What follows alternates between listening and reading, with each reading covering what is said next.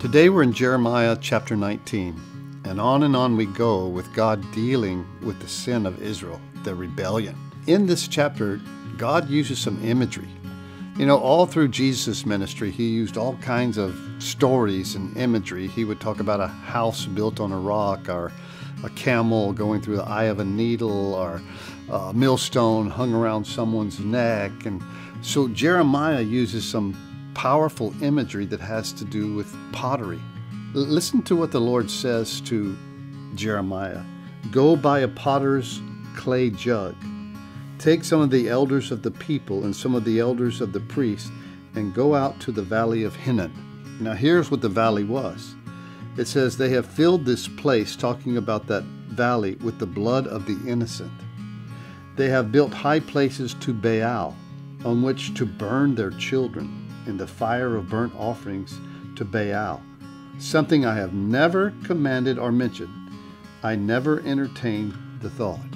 So here's what's going on God has been fed up with the idolatry, but especially now when it has reached the innocent children that they're sacrificing in this valley of Hinnom to the god of Baal. So he says, I want you to go with the priest.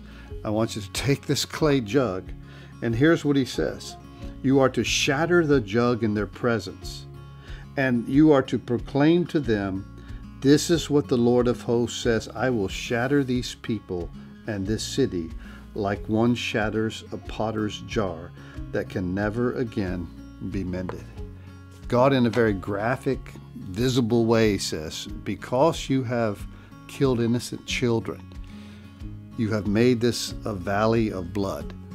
I'm going to shatter the nation and he gives them a visual image of what it's looked like. You take a, a, clay jar and you shatter it, and you can't put it back together the way it once was. And he's saying, You can't mend this situation once I deal with you. It's a call to repentance, and it's a visible picture of what God says I will do. And I think sometimes God gets very visual with us. He gets very loud, and his heart is not to condemn, his heart is not to judge, but it's to restore.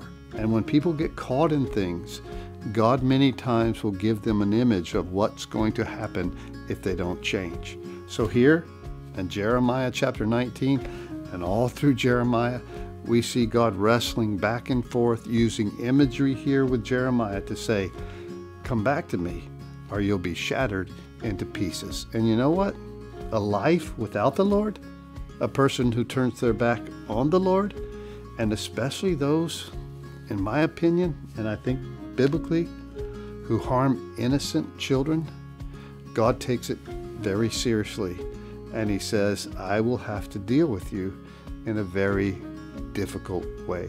Jeremiah chapter 19 God dealing with His people who shed the blood of innocent children.